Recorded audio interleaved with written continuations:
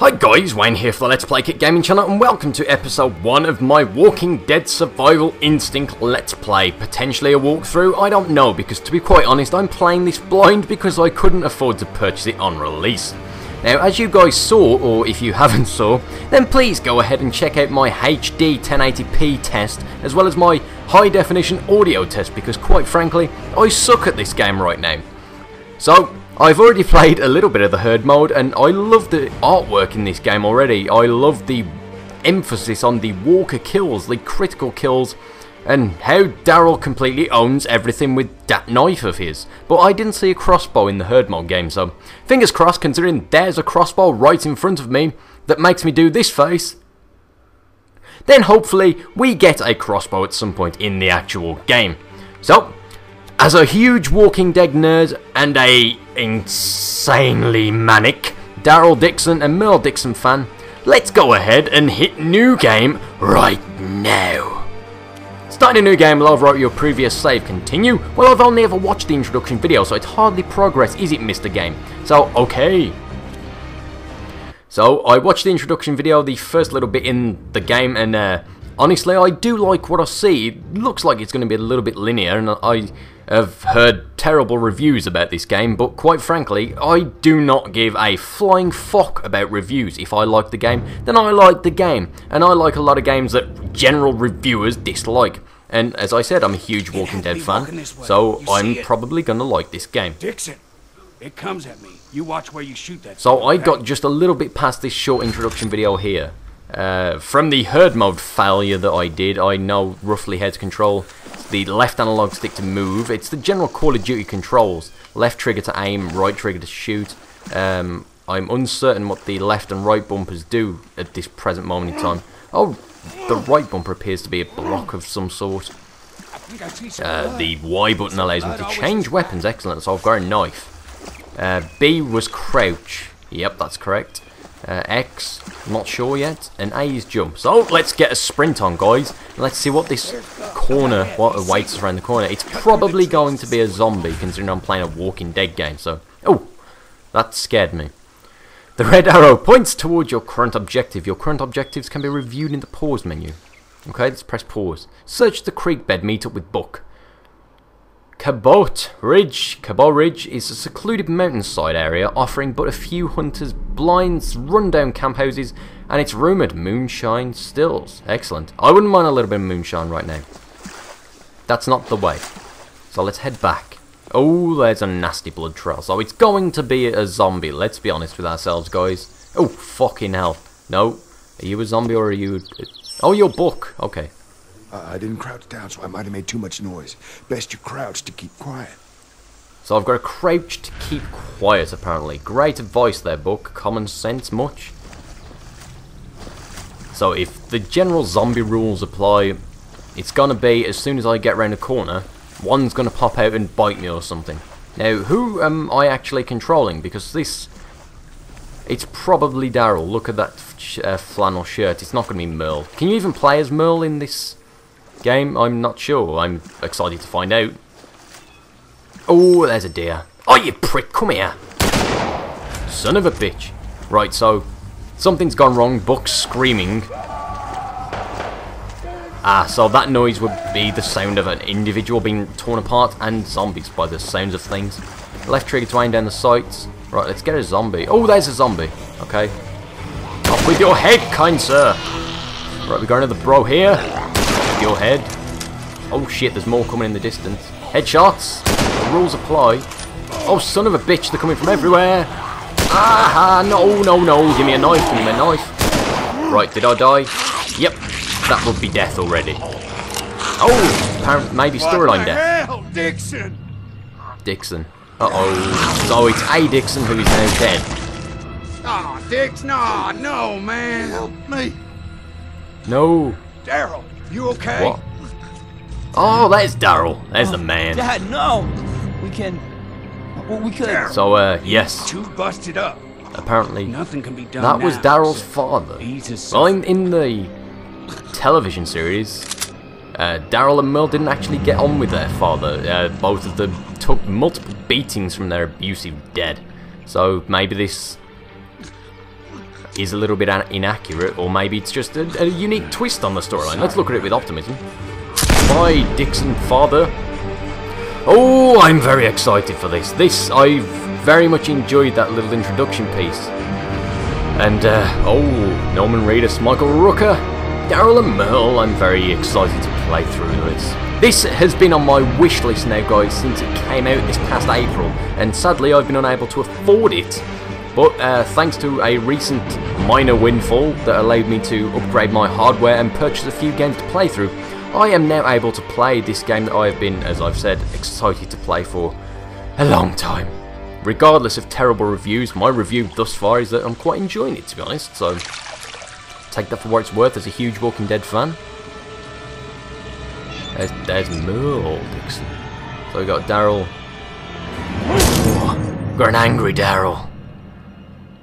Angry Daryl. And there's a knife on the table. Can I pick that up or... Yes, I can. Uh, press X to pick up an hunting knife. Okay, I shall now. Melee attacks. Press the right trigger to swing the weapon and hold it to deliver a power attack. Melee weapons are good for taking out walkers without making much noise. Okay, sports drink X. Sports drinks and MREs can be used to restore your condition. Once you have equipped a restorative item, press right trigger to use it. So we found out in the uh, other game, the herd mode mode, herd mode mode, that we can use the directional buttons on the D-pad to uh, equip our medical items. Is there anything else knocking about in this general area? Nope. Right, let's get outside then. Press X to open the door. Ah! Daryl, come here. Oh, Jess, you're the guy that's been, eat, been bitten on. Pick up a hammer, commercial MRE. So the hammer's probably a weapon as well. Let's check that out in a sec. Uh, MRE for condition again. We gotta work Lots of sports drinks. Yes, I'm aware we've got to work out a plan, Jess. That's what usually happens in a zombie apocalypse games. You work out plans, bro. What's this? Collectible. It's a squirrel! Okay, let's try and kill the squirrel, which we can't do. Dinner time. Right, so we've collected that. One out of 16 collectibles. I wasn't aware that there were collectibles in this game, so that's going to be fun. I'm quite looking forward to We this even more so a now. plan. Right, hi Jess, how are you? Stab you in the face We again. gotta work up a plan. In the eye. Oh, let's make you the governor. Let's make you the governor. Daryl, come here. Governor Jess Collins. Stab you again. Okay, you've been bitten, bro. Yeah, Let me just here. sort that out for you. Make you Merle governor. Governor Merle Dixon. Governor Jess Merle come here. Collins. Yeah, I'm just going to talk to him now. Well, that amused me for a Anything like second. If you told me about it, I'd call you a liar. Listen, there's more of them. Oh no. We gotta go. Yeah, the only thing we gotta do is kill every last one of them. Daryl, I know you're upset. Yeah, you would be listen. upset. Your dad's just that been sounds murked like off. A whole lot of them. We need to go now. Gather up as much as you can and meet me at the truck. Let's go then. Daryl, remember what we learned about him. Head trauma. Attack the brain. Remember, only thing we know that kills him. And be quiet sneaking out the back door. Don't let him see you. Right, okay. I know from the reviews that I've read that this game does have quite an emphasis on stealth, so that's quite exciting. And from the herd mode, I can tell that if I'm not careful, I'm probably going to die. Well, that's not a back door. So we've just been instructed to escape via the back door. And we now have to find three fuel canisters. Now, I assume that that little compass point on the map is... Oh, crap. That little compass point on the map is directing us to the location where we've got to go. So I pinged up... Yeah, hold the right bumper to execute. So let's go ahead and do that. Ah, okay, so this should make killing a little bit easier. But there's a lot of them in that area, so how are we going to work our way around this? The first canny's around here, apparently, so let's get a sprint on. Oh, shit! Right, I shouldn't have ran, of course. Shove you. Stab you in the head! And again. Eat Daryl knife, bitch! Fuck yeah! Come on. Fucking...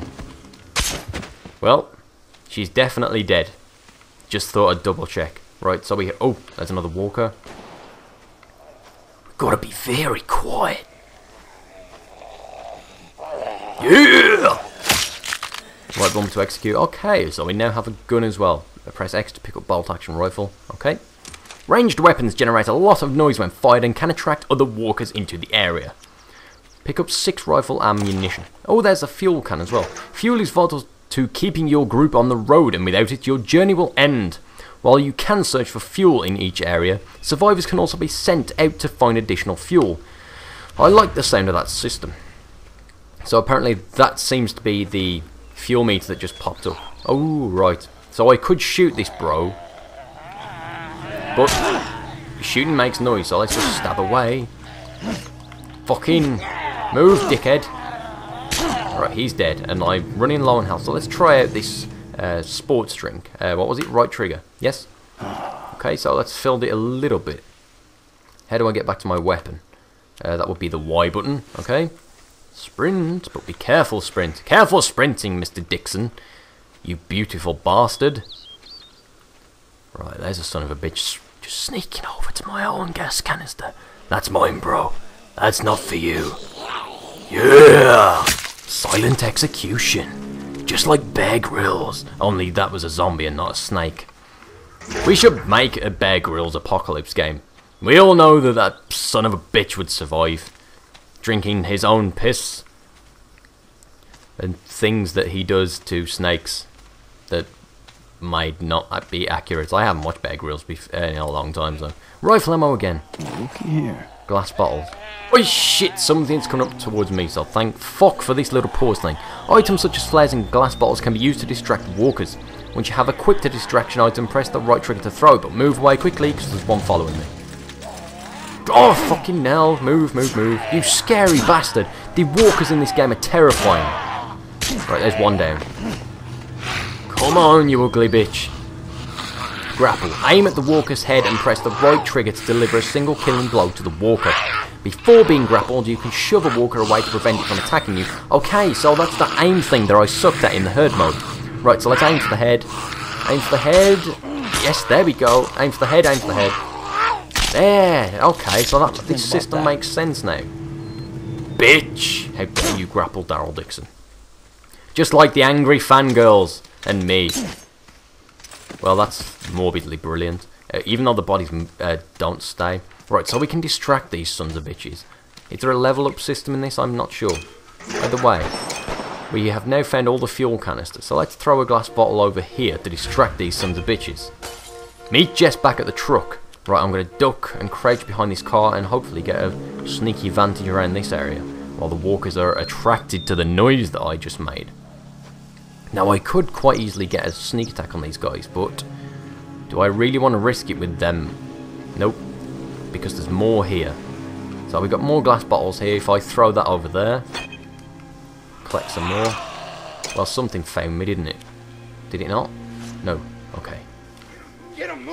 Yes, I am trying to, Jess, but I want to make sure I get all these glass bottles for future reference. You angry bastard with one arm potentially in a, in a little while. Right, what's in this cabin? There's going to be something in this cabin, isn't there? So, let's go ahead and see. Son of a bitch, let's just get out of here. Right. Is there going to be anything in that cabin? Yeah, I'm not going to stick around to find out, guys. Let's go! Jess, get a move on, you son of a bitch. Did I die? Yeah, I died. I died. Right, note to self. Do not look in that cabin because you die. Right. Now let's try again. Finding a weapon generates a lot. Firing a weapon generates a lot of noise. Right, so I'm going to try not to die in this playthrough for obvious reasons, guys. But yeah, rookie mistake. When escape is there, do not go ahead looking in the cabin. Right. All fuel cans found, so let's just get the hell out of here this time. I know, Jess, I can hear you, bro. Right, so I just threw that, and Jess isn't interested. The zombies aren't interested, the walkers aren't interested, because Jess just beeped here? his horn like a douchebag. Right. I shall execute you, Get sir. And you, you shall die too. Horribly and gruesomely. Eat knife. Right, so we got another one coming after us. Uh, let's just quickly ingest a sports drink, I think. Quickly! It said quickly. Right, so we got to aim for the head. There we go. Oh, that one was right up close to the camera. Right trigger again. Yes, you shall not. You shall not ever kill Daryl Dixon. Right, so we've got a quick chance to investigate in this little area here to see what we can find. Oh, son of a bitch, this is the cabin we started at. Well, that was pointless, wasn't it? oh well, well now we know. Let me get in the truck. Hurry up! Yes, I'm trying to hurry up, but I I don't know how to get in the car yet, so I've got a hammer. Well, that's that's quite brutal. How do I get in, Jess? How do I get in the car? Jess, let me in the truck. There we go, yes. So we finally did it. So it turns out that cabin is actually the cabin that we started in. Jess Collins joined the group single cab truck found and we collected the squirrel statue. That's fun. Right, so travel map. Here you can select your next destination and how to get there. Backroads consume more fuel, but provide additional scavenging opportunities, while taking highways conserves fuel but bypass scavenging opportunities. Okay, that makes sense. Right, okay. Time of day, afternoon. The gateway to the hills is a last chance supply stop for hunters headed to the mountain, and home to the friendly community of Dreamaway Groves Park. So that's the only destination we can select, it would appear. So let's press A. Right. Backroads, high fuel usage, but stop often for supplies. Chance to break down low, chance to find supplies high. Medium, medium, medium, medium fuel usage, and occasionally stop for supplies. High, low, low fuel usage and only stop when necessary. So we've got a high chance to break down. Uh, I think I'll take the back roads because uh, the back roads appears to be using less fuel, high chance to find supplies, and a low breakdown chance. So yeah, let's press A for the back roads. Let's see what this holds for us. Not a damn thing. My phone ain't working either. Hey, about your dad? I don't know what to say about it. Then don't. Leave it be. And we gotta tell Merle what happened. Yeah, I suppose. Yeah, we need to find Merle. But we ought to warn people first. What? Go to the cops? Please. We gotta go get Merle. Merle, he's. Well, he's just not right. What you say to me, old man? Merle's ten times the man you are. All right, all right. Just seems you boys turn hay into shit when you're together. Right, so apparently we are en route to rescue Merle Dixon, Daryl's brother, wherever the hell he may be. Travel Hub. Here you can manage your survivors, transfer items to your vehicle, and select the items you want to take with you into the next area. Press A to continue. Okay. Right, so that's what I'm going to do. Uh, where have I got in my inventory? Let's take a look. Press A to select the backpack. Your vehicle inventory provides an area for you to store weapons, resources, and supplies. Items can be transferred between your personal and vehicle inventories before entering an area. Right. So let me press X on the hammer. Blunt melee weapon, claw hammer used for driving nails. Damage light, reach close, and swing speed fast. Bladed melee weapon is the hunting knife used for skinning animals. Light, close, medium. So that was light, light, close, fast. Light, close, medium. Right. So it would appear that the uh, hammer is a bit better than the hunting knife. Let's keep both of them for now. Uh, bolt action rifle, glass bottles, and fuel. Uh, if I deposit, if I deposit the fuel, because obviously I'm not going to need the fuel when I'm out and about scavenging, surely. Uh, is that correct? Yeah, there's nothing changing the fuel bar at the top, so let's deposit the fuel for now. I shall keep the sports drinks and the commercial MREs and the gun. Uh, hunting knife and the hammer. So we've got 6 out of 10, which means we've got 3 more inventory slots. So that's it for that one. Now, where else have we got? Survivors. Heal, equip, and send out survivors. Select yes. Here you can heal, equip, and send survivors to find resources. Each survivor has traits that can affect the risk level of the group. Lower the risk level by sending more survivors out and giving them weapons. Jess Collins. Traits can't be dismissed and tough. Equipped weapon, no weapon. Task stay at the car. Right, so Jess doesn't have a weapon. That means that I should probably give him... Uh, let's give him the hammer. Right. Equipped weapon. Press A. Hammer and bolt action rifles. So Jess now has a hammer equipped. I like this. This is good. Task stay at the car. Find fuel, find food, find ammunition, and stay at the car. So let's get him to find fuel because our tank is running low. We need more fuel. Group scavenger risk plus 25%. Would that lower if I... Yes. Right, so we have a higher risk if the survivor doesn't have a weapon equipped. So note to you guys if you play this and myself for future reference, uh, collect weapons and store them in your inventory until you give them to other survivors. If we do get other survivors, I'd like to think we do. Uh, we shall see. Task find fuel. Can't be dismissed, okay. Right, so our next task is to go into the next area and do the first proper level outside of the introduction level, I suppose. So, yep, Uh, we shall continue that in episode 2. I really hope you guys have enjoyed episode 1. I'm very much enjoying this game right now, so I'm very much looking forward to playing through episode 2 myself. So yes guys, I have been your host Wayne for the Let's Play Cat Gaming channel, and I now wish you all the best in your future endeavours, wherever they may hold in today and tomorrow and the future. But yeah, episode 2 is coming guys, so yeah. Until next time my friends, Wayne here for the Let's Play Cat Gaming channel, hoping you enjoy my 1080p and high definition audio. Goodbye my friends.